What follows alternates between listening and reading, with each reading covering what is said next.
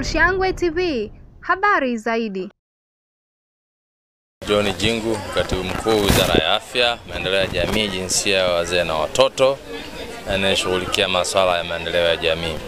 Hawa akina mama wanatoka maeneo yote ya nchi yetu, bara na visiwani, lakini wote hawa wamezalisha bidhaa mbalimbali nzuri kabisa, na wengine wanauza nje ya nchi kupitia ubunifu wao, kupitia teknolojia rahisi ambayo wengi wamewezeshwa na taasisi yetu ya SIDO. Kwa kazi kubwa imefanyika na inaendelea kufanyika ya kujenga viwanda e, na hapa ni ushuhuda e, ushuhuda e, wa wazi kabisa kwamba ile falsafa ya kujenga Tanzania viwanda inawezekana na inafanya kazi. Moto kubwa ambayo wanaizungumza hapa ni upatikanaji wa soko, masoko ya ndani, lakini pia masoko ya, ya nje ya nchi mm. Bado sio wengi ambao wanauza bidhaa e, nje ya nchi mm. Na ukiziangalia bidhaa zingine ni nzuri kabisa.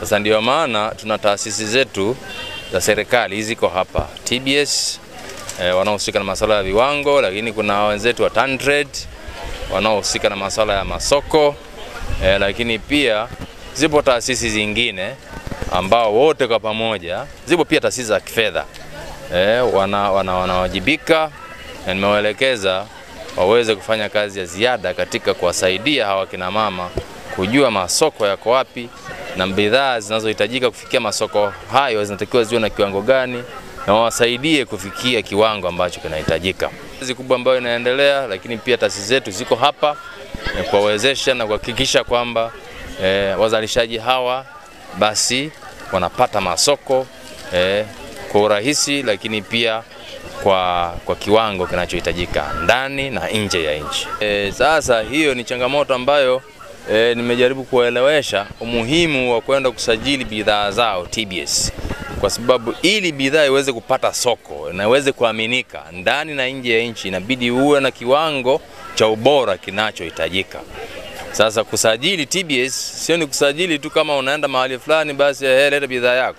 TBS kabla haja kusajili wanahakikisha kwamba bidhaa yako ina ubora unaostahili, na ndio kazi ambayo wanaifanya, na ndio kazi ambayo eh, nimewaomba hawa akina mama, mama kwenye vikundi vyetu hivi basi waende wakatumie huduma hiyo, na bahati nzuri inapatikana hapa hapa, lakini TBS eh, hawaishii hapa kwenye, kwenye, kwenye, kwenye shughuli hii ya viwanja hivi tu eh, wako nchi nzima na kazi yao kubwa ni kuwawezesha hawa akina mama e, kutimiza e, kufikia viwango vinavyohitajika, na inafurahisha kwamba kuna wengine umu umu kuna washuhuda hasa hawa ambao tayari wanauza bidhaa zao nje ya nchi e, wamenufaika na huduma nzuri za TBS.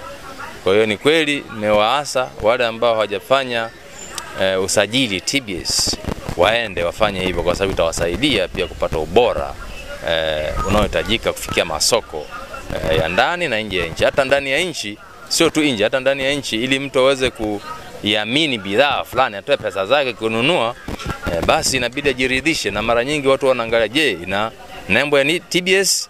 Akishaiona na hiyo nembo, basi anaridhika, anafurahi. Kwa hiyo ni njia nzuri pia ya kusaidia kufikia masoko. TWCC wamefanya kazi nzuri, wamefanya kazi nzuri ya e, kuwakusanya wakina mama hawa kutoka maeneo mbalimbali ya nchi yetu bara na visiwani eh, na lengo kubwa, moja ya malengo makubwa ni kusaidia bidhaa zao ziweze kujulikana. Kwa hiyo TWCC kazi yao mojawapo ni kusaidia vikundi kama hivi kupata masoko, na jitihada ambayo wameifanya kwenye shughuli hii inayoendelea ambayo nimeambia itaendelea mpaka tarehe saba ni katika hilo, kuhakikisha kwamba masoko ya bidhaa hizi eh, yanapatikana na yanapatikana eh, pale watu ambao wat, pale wananchi watajua kwamba kuna bidhaa hizi zina ubora huu zinapatikana wapi. Eh, hiyo ni njia mojawapo, lakini wamefanya kazi nyingine nzuri zaidi, wamewaleta watu wa huduma mbalimbali. Kuna washauri hapa wa biashara, kuna mabenki yako hapa kama mnavyoona, lakini kuna taasisi zetu hizo za serikali kama SIDO kama BRELA eh, zinasajili zinafanya kazi hapa hapa kama TBS zinafanya kazi hapa hapa, lakini pia na taasisi zingine za binafsi e, ambao wote kwa pamoja e, wanalenga au wana majukumu ya kuwasaidia hawa kina mama kufanya kazi zao kwa weledi na kwa ustadi unaotakikana. Naitwa Messi Sila, ni mwenyekiti wa TWCC, chama cha wanawake wafanyabiashara Tanzania, na kwa kweli tumeandaa maonyesho haya ku, kuendea siku ya wanawake duniani ile ya tarehe nane. Tuliona ni bora basi tuwatambue wa wanawake ambao wako kwenye biashara na vile vile wenye viwanda, kwa sababu tunataka kuhimiza azma nzima ya Mheshimiwa Rais ya viwanda. Kwa hiyo wamama wote hawa, kila mmoja amezalisha yeye mwenyewe. Kwa hiyo kuna viwanda vidogo, viwanda vya kati na viwanda vikubwa.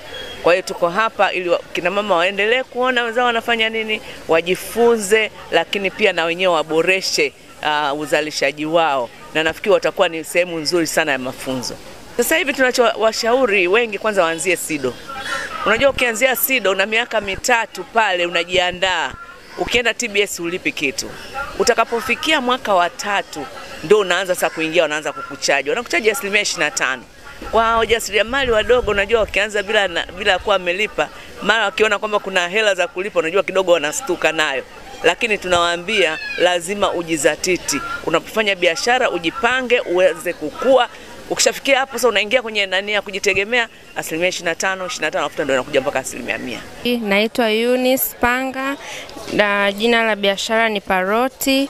Najihusisha na mafuta ya ubuyu, sabuni za ubuyu na zote hizi zinatumika kwa ajili ya kutunza ngozi kiasili, kwa sababu zina virutubisho nyingi na vitamins nyingi ambazo ni nzuri kwa ajili ya kutunza ngozi zetu na kujikinga na mionzi ya jua. Pia tuna um, rose water ambayo inatumika kwa ajili ya kuhydrate ngozi, kuipa ngozi unyevu na kuiepusha ngozi na kukauka. Na pia tuna bidhaa zingine kama unga wa ubuyu, unga wa ubuyu na unga wa rosella ambazo tunazitumia kutengenezea juice manyumbani kwetu ambazo zina vitamin C nyingi, zinasaidia ku raise immunity na pia ku, ku, kuleta reflection nzuri ya ngozi kwa sababu utunzaji wa ngozi unaanzia ndani. Changamoto kwenye kwenye kwenye sisi wajasiriamali wadogo ni, ni masoko. Masoko sana sana serikali itusaidie ku, ku pia kutoa elimu kwa watu, watu waweze ku, ku, kupenda kutumia bidhaa za ndani, kwa sababu bidhaa kama haya mafuta yanasaidia yana vitu vingi sana ambazo ambavyo watu wana, wana, wanatafuta kwenye cream na nini ambazo zinatengenezwa na kemikali ambazo sio nzuri kwa ngozi kwa ba, yani ile long term na baada ya muda mrefu mtu unakuja unapata matatizo, lakini ukitumia bidhaa za asili zenye virutubisho vizuri sana kwa ajili ya kutunza ngozi inakuwa ni nzuri kwa Kwa majina naitwa Joyce Felician, ni mkurugenzi wa Jefenai Investment Company Limited. Ninatokea Dodoma, ndo makao makuu, lakini tunafanya kazi Tanzania nzima, Afrika nzima na dunia nzima. Tumeweza kufanya kwa upande tumefanya juhudi zetu binafsi ya kutoka nje ya nchi, lakini pia tulihitaji sana serikali iweze kutusaidia. Ukiangalia hapa, bidhaa yangu mimi imekizi vigezo vyote, lakini TBS haina. Mimi ni mjasiriamali mdogo. Ukiangalia changamoto ambazo tunazipata sana sana ni TBS. TBS lazima kuwa na jengo. Kuwa na jengo ni gharama kubwa sana. Kwa labda ningeshauri serikali, serikali ina majengo mengi tu ambayo yamekaa matupu, kushirikiana na SIDO wangejitahidi kuwa kuna majengo special ambayo yatusaidia wafanyabiashara wadogo kuweza kusindika na, kupika, na kufika vile vi, viwango vya TBS ili tuweze kutoka nje ya nchi kiurahisi zaidi. Kwa mimi nafanya kwa kidogo, lakini naimani kama serikali itatusapoti katika kutupa majengo hayo free, wakisaidiana na SIDO kukizi vigezo tuweze kutoka nje kwa urahisi zaidi. Kwa jina naitwa Judith Rugemalila, najihusisha na utengenezaji wa vyakula kama viungo vya mboga, viungo vya chai pamoja na unga. Na katika unga niliangalia sana afya, kwa sababu watu wengi wanakula vitu ambavyo vinakuwa viko katika hali ya usafi, wanakula vitu ambavyo vinakuwa vina makemiko. Kwa hiyo mimi nikaja tofauti kwamba ukichukua unga kwangu ni unga ambao mahindi yake yanakuwa yamesafishwa kama dona, mahindi yake tunaloweka kwa siku nzima, then kesho yake tunasafisha ili kuondoa ile dawa yote, then tunasaga na kama ni unga wa lishe ni huu hapa ambao ni wa watoto, tunakuwa tunaweka mtama, tunatumia viazi lishe, ufuta, mbegu za maboga ili kuleta changamoto ile watoto kwa msababu wanakuwa na- utapiamlo saa nyingine, saa nyingine afya zinakuwa mgogoro, saa nyingine wanachelewa kutembea. Kwa hiyo vitu vyote vinakuwa umu na kumfanya mtoto awe active. Akitumia unga anakuwa active darasani kwa sababu una mbegu za maboga ambapo namfanya mtoto aweze kuelewa kwa uharaka aweze mishipa yake iwe imara katika kutembea, siwe na matege. Kwa hiyo ni vitu ambavyo tunahusika navyo. Changamoto tunayokabiliana nayo ni mi, tuseme inawezekana kwenye mitaji inakuwa ni midogo, kwamba mtu unatamani ufanye kitu kikubwa, lakini uwezo wa kufanya kile kitu ili kiweze kuwafikia watu unakuwa mdogo, kutokana na capital inakuwa ndogo. Kwa hiyo ndio hiyo changamoto tunayo, lakini tukiwezesha, tunaweza tukafanya. Mfano, ukiwa na mashine, mtu anakuja hapa anaona jinsi unavyoosha, unavyokausha, unavyosaga, ina maana mtu anachukua kitu ambacho anaona kiko live jinsi unavyotengeneza. Jina naitwa Agnes Magembe na wakilisha Elieshi Group. Sisi ni wasindikaji wasindika, wasindika wa waini na pilipili. Uh, waini zetu ziko za aina mbalimbali za matunda na rosera. Kiwanda kiko Musoma. Changamoto tunazozipata tuna vifungashio, vifungashio ni ghali na wakati mwingine havipatikani, especially vifungashio vya uh, vya, vya pilipili kwa sababu vifungashio vyetu ni vya glasi. Uh, kingine pia ni masoko. Uh, Tanz- wa, wananchi wa Tanzania bado wana ile ule utamaduni wa kununua vya ndani, kuthamini vya nje kuliko vya ndani. Bidhaa zetu zimethibitishwa na TBS, vina viwango vyote, kwa hiyo vina uhalali, tunauza mpaka nchi za nje, lakini kwa Tanzania inakuwa ni ngumu kuvipokea.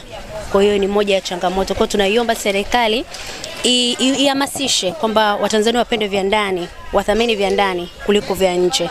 Naamini serikali ikiingilia kati katika hilo, basi na uchumi utapanda, Watanzania watapata ajira kwa sababu uzalishaji utakuwa ni mkubwa. Naitwa Joyce Nducha, nimetoka wilaya ya Sikonge, mkoa wa Tabora. Hapa nimeshika hii bidhaa tunaita matoborwa, ambavyo ni viazi vitamu vinavyochemshwa baadaye vinakaushwa. Vikisha kaushwa ndio vinaitwa matoboro, na jina letu la mkoa wa Tabora limetokana na ma, ma, ma, ma, nini ma, baada ya usindikaji wa, wa matoborwa. Kwa hiyo tukaambiwa kwamba jamani, tulikutwa tunanga, tunakula matoborwa. Manini haya, tukasema matoborwa, kusikia matoborwa, akasema ah, kumbe Tabora.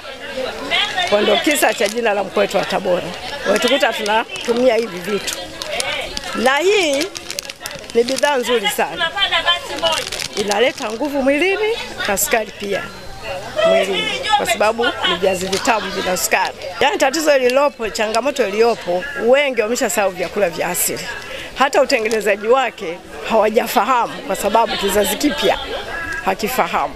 Hivyo tunapotembea sisi hivi tunakumbusha zile za mababu. Kwa hiyo vijana kama nyinyi mjifunze kwa kuna vyakula vya asili kama hivi ambavyo vinaweza vikatengenezwa mkala bila shida.